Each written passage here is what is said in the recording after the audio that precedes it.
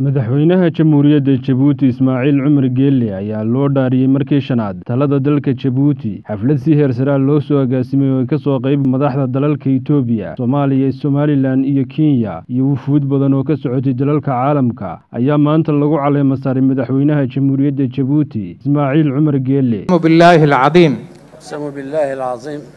An akuuna mutamasikan bikitaab illaahi wa sunnati rasuulihi.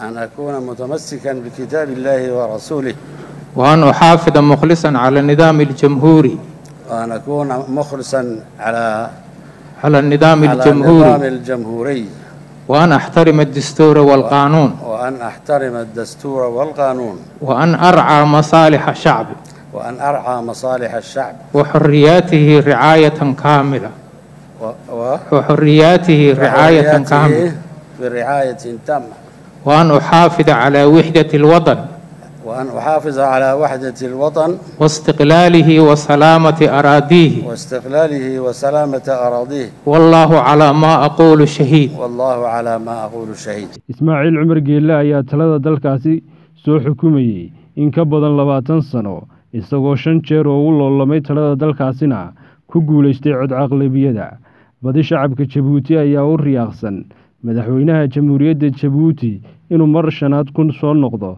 talada dalkaasi. Cabdirasaaq axmed aadan tayga telefishinka caalamiga ee sm news